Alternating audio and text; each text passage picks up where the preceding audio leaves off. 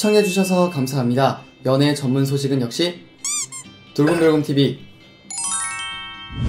안녕하세요. 돌곰별곰TV입니다. 이번 시간에는 방탄소년단 전국에 대한 소식을 전해드리도록 하겠습니다. 먼저 첫 번째 소식입니다. 전국에게 인도네시아 여배우가 각별한 애정을 드러내 눈길을 모았습니다. 인도네시아 인기 여배우이자 모델, 가수 등으로 다양한 활동 중인 시파 핫조는 지난 18일 자신의 인스타그램 스토리에 전국과 합성한 사진을 올려 관심을 모았는데요. 해당 사진 속에는 good night, me and my 라는 글과 함께 시파 하주가 눈을 질끈 감은 채 정국의 볼을 향해 입술을 쭉 내밀어 애정을 드러내고 있었습니다. 시파 하주는 앞서 2019년 인도네시아 TV 코미디쇼 오페라 반 자바에 출연해 좋아하는 스타가 누구냐라는 질문에 한국 보이밴드 방탄소년단을 좋아하고 정국을 좋아한다라고 고백한 바 있습니다. 이에 18일 자신의 인스타그램 스토리에 게재한 한 장의 사진이 전국에 대한 한결같은 찐사랑을 느끼게 만들었습니다. 두 번째 소식입니다. 가수 제시가 전국을 이상향으로 밝힌 데 이어 전국이 사진으로 랩핑된 비타민 제품을 게시했습니다.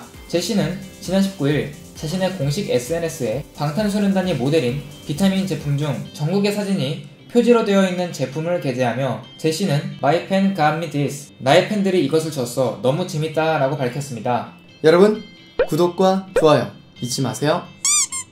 세 번째 소식입니다. 정국의 솔로곡 유포리아가 각종 음원 플랫폼과 주요 차트 등에서 많은 기록과 성공을 거두고 있습니다. 정국의 유포리아는 최근 스포티파이에서 2억 1000만 이상 스트리밍을 돌파하며 역대 K-팝 최다 스트리밍곡 19위에 올랐는데요. 유포리아는 K-팝 남자 아이돌 솔로곡과 K-팝 B-side 방탄소년단 솔로곡 중 최다 스트리밍을 기록했습니다. 유포리아는 발매된 지 2년 8개월이라는 시간이 지났지만 꾸준한 인기를 과시하고 있으며 지난 20일 기준 2억 1600만 이상 스트리밍을 달성했는데요. 세계 음원 서비스 시장의 30% 이상을 점유하고 있는 스포티파이에서 유포리아의 이 같은 기록은 전 세계 listener들의 귀를 사로잡은 강력한 음원 인기와 글로벌한 케이팝 시대의 솔로 가수로서의 가능성도 보여줬습니다.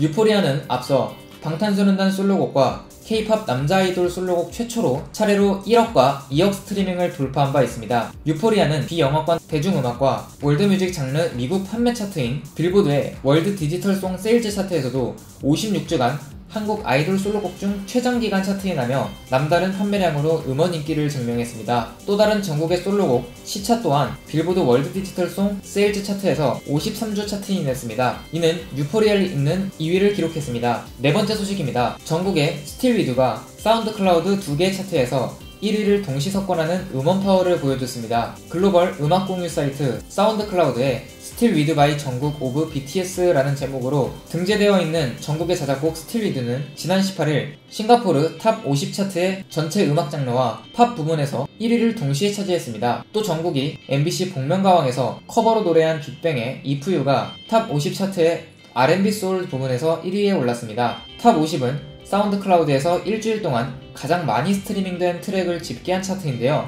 Still With You는 지난 16일 사운드 클라우드에서 5,700만 스트리밍을 돌파하기도 했으며 118만 좋아요를 넘어서며 식지 않는 인기를 누리고 있습니다. 화제가 되었던 방탄소년단 정국에 대한 소식을 전해드려 봤습니다. 여기서 잠깐 여러분들의 최애 연예인분들이나 각종 정보 기사 등을 댓글로 요청해 주시면 직접 선정하여 방송해 드릴 예정이니 많은 참여 부탁드립니다.